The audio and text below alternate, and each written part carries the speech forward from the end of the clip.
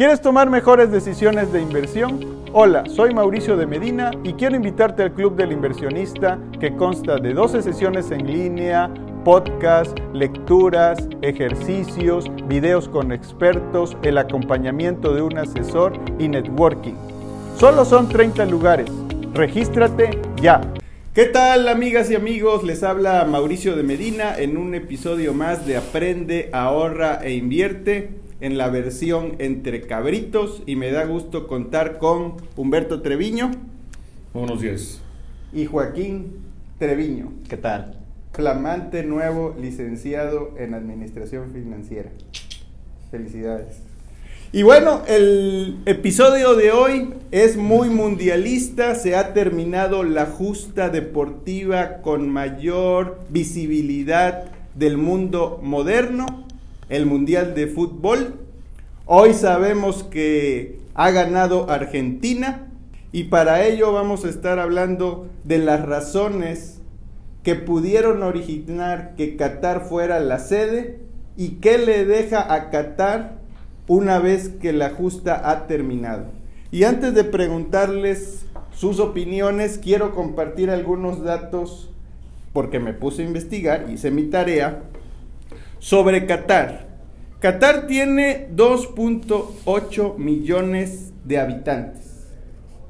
En verano tiene una temperatura promedio de 43 grados centígrados. De ahí que una de las razones para hacerlo en invierno que es la primera vez que se hace en esta temporada, es que la temperatura en esta temporada ronda los 24 grados centígrados. Al inicio, cuando Qatar fue convocado o estaba participando para ser sede, solo tenía un estadio. Hoy cuenta con ocho estadios donde pues es la justa mundialista de fútbol soccer que ha contado con la menor cantidad de estadios.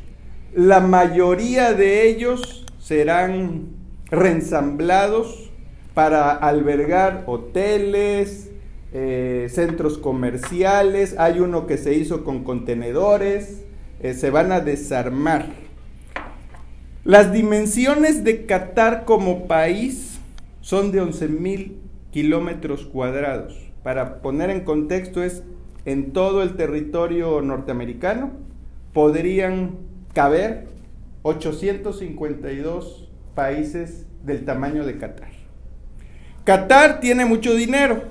Es el tercer país con más reservas de gas, seguido de Rusia e Irán. Es el treceavo país con mayores reservas de petróleo es el cuarto país con mayor ingreso per cápita y anualmente exporta 40 billones de dólares entre petróleo y gas. Habiendo dicho eso, Humberto, ¿por qué crees que Qatar fue sede? ¿Y qué le deja a Qatar haberlo sido? Muy bien. Pues yo creo que Qatar se interesó en ser sede del Mundial porque lo que, lo que el Mundial significa en términos de conocimiento, divulgación de un país, de una economía, de una cultura, y que Qatar sin duda tiene el interés, y está documentado esto, de que tiene en términos de, prever su futuro, esas exportaciones de gas y de petróleo eventualmente se acabarán, o porque se agotan las reservas o porque se agota el uso, particularmente el tema del petróleo. Entonces Qatar tiene que pensar desde ahora, y se ve que lo está haciendo eh, con mucha intensidad, el cual debe ser el futuro de su país y de su economía. Me parece que Qatar está pensando eh, también lo he leído por ahí, en, alguna, en una nueva vocación que sería más bien de desarrollo tecnológico, que sería de turismo y que sería probablemente de un hub comercial para la región. Ahora, yo no ignoraría, y lo comento también de entrada, de que Qatar forma parte de una comunidad de países, no es parte de la Unión de los Emiratos Árabes Unidos, no es parte de, pero usted es vecino, vaya. Entonces Qatar, Bahrein y los Emiratos Árabes Unidos en conjunto, todos lados de 2.8 millones de habitantes en Qatar, pero en conjunto esos países tienen pues ya casi 15 millones de habitantes. Entonces es, una, es un número eh, poblacional eh, relevante como para pensar en otro tipo de actividades para toda esa población. Yo creo que por eso Qatar se interesó en el Mundial. ¿Qué le deja a Qatar haber sido sede? Si vemos estas inversiones que hablan de 200 billones de dólares que ha costado este mundial. Bueno, le, dejan pérdidas por principio de cuentas, pero yo creo que ellos preveían de que estas pérdidas eh, se iban a dar. Esto es un país que tiene una cantidad muy amplia de recursos que lo puede solventar con cierta facilidad. Yo creo que lo que le queda es eh, eh, precisamente ese logro de haber dado a conocer Qatar en el mundo, de posicionarlo este, como un país que, que tiene futuro, un futuro diferente al que le hemos conocido, y yo creo que ese objetivo lo cumplió. Ahora, saben ellos, eh, los gobernantes, que entre paréntesis me parece que son gente pues muy educada, muy preparada, todos ellos jóvenes estudiados eh, o que han estudiado en las mejores universidades del mundo, en Europa y en Estados Unidos, que este, esta, esta ruta es inevitable, o sea, tienen que transformar a su país. En ese sentido, eh, se, logró. Ahora, hay otras cosas de transformación, no solamente económica, sino inclusive, pues digo, cómo salir adelante con este, el antecedente cultural que hace que para otras culturas no les sea tan atractivo o visitar en Qatar o hacer negocios con Qatar, etcétera. Entonces es un gran cambio el que tienen que hacer eh, los dirigentes de ese país en los próximos años. Muy bien.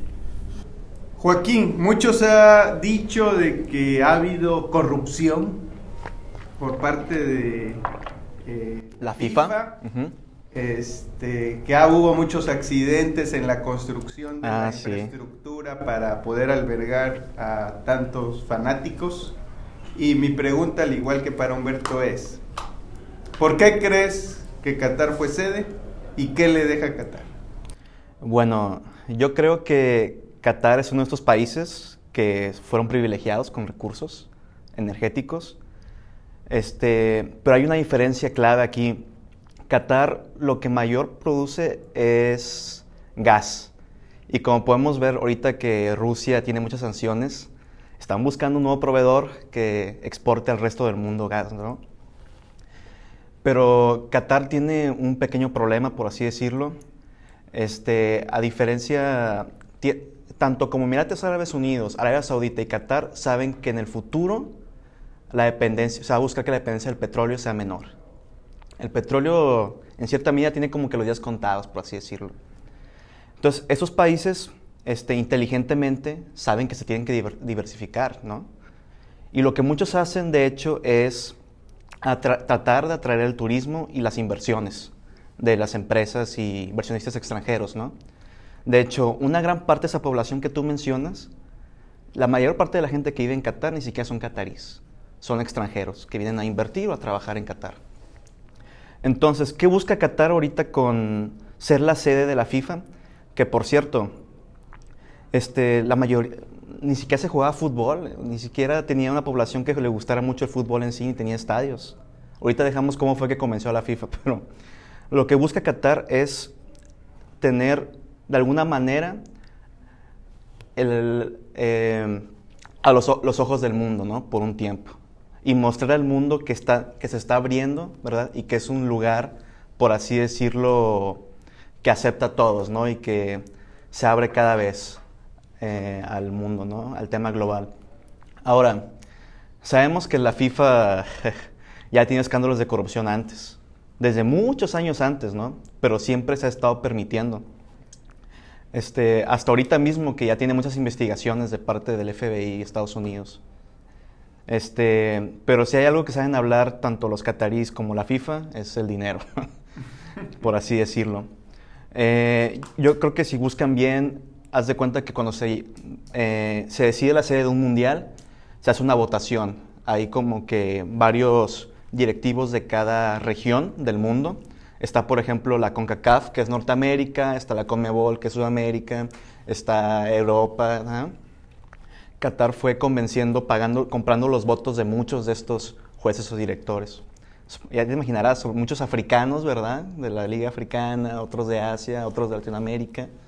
Compró votos y de una manera u otra venció a Estados Unidos. Estados Unidos era el favorito de ser la sede de este año.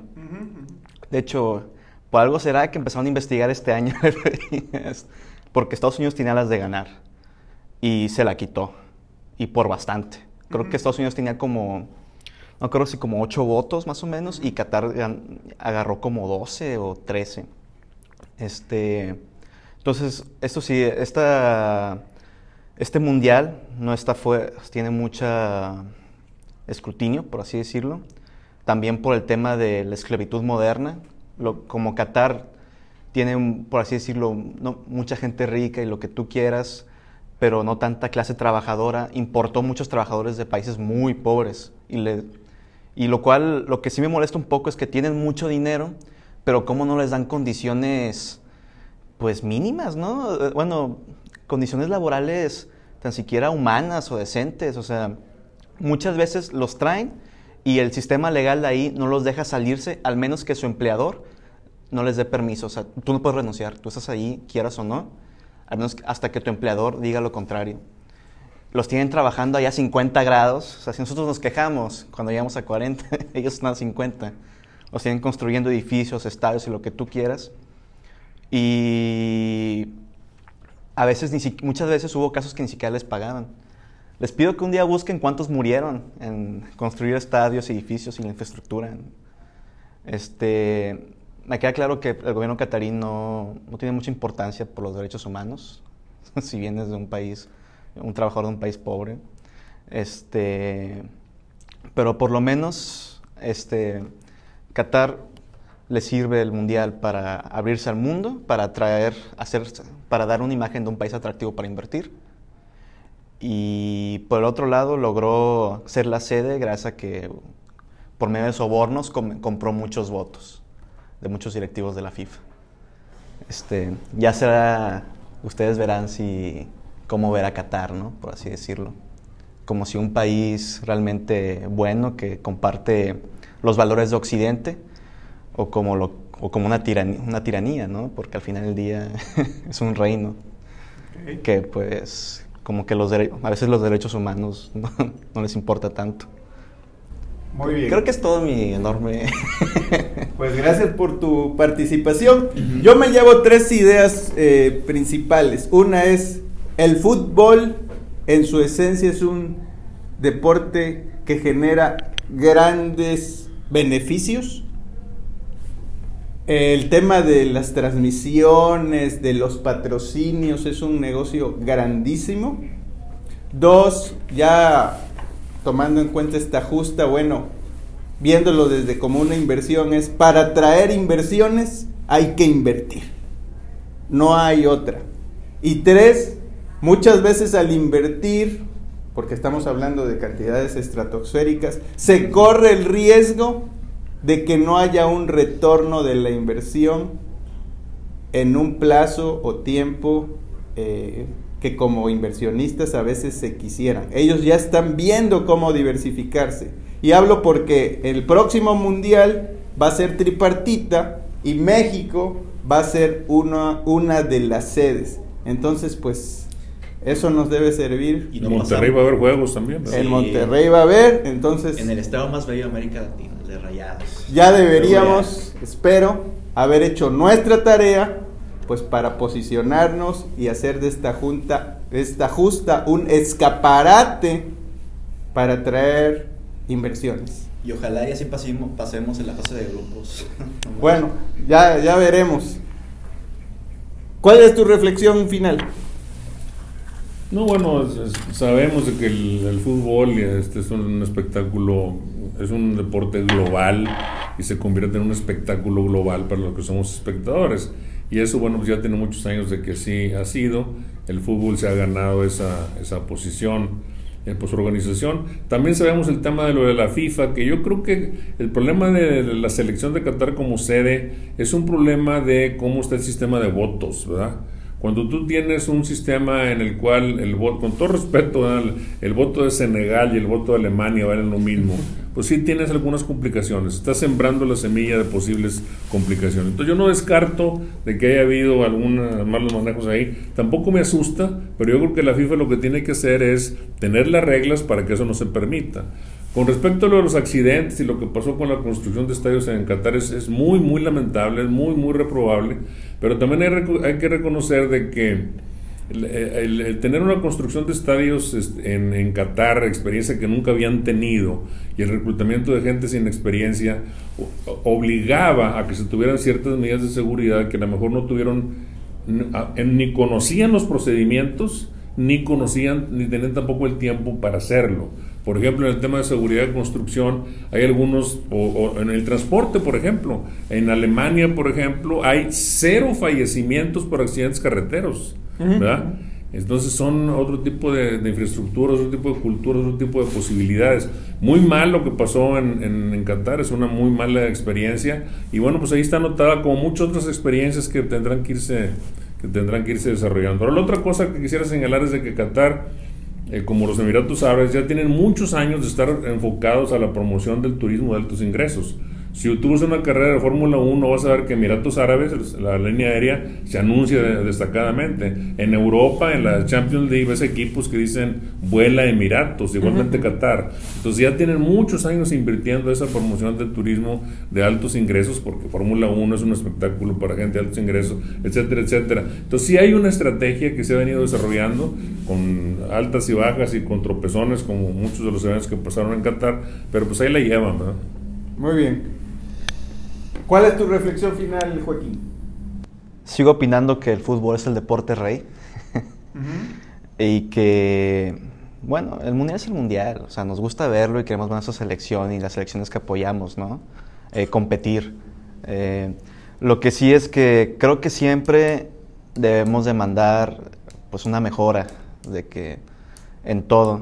Eh, yo siento que hubo situaciones ahorita que no puede estar esperando en 2022 de cómo se seleccionó y cómo se lleva a cabo la administración de la FIFA.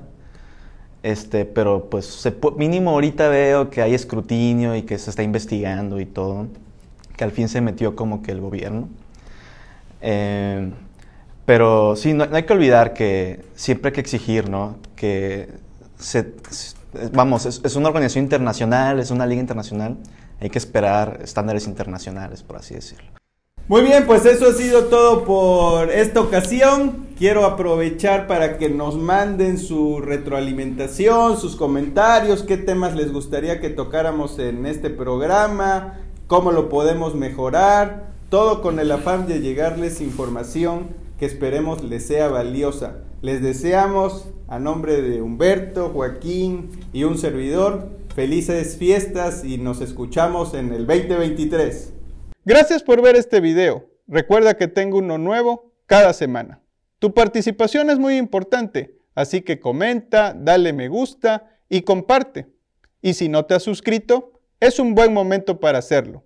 Si quieres profundizar sobre finanzas personales e inversiones, visita mi sitio mauriciodemedina.com. Nos vemos en el siguiente video. Aprende, ahorra e invierte.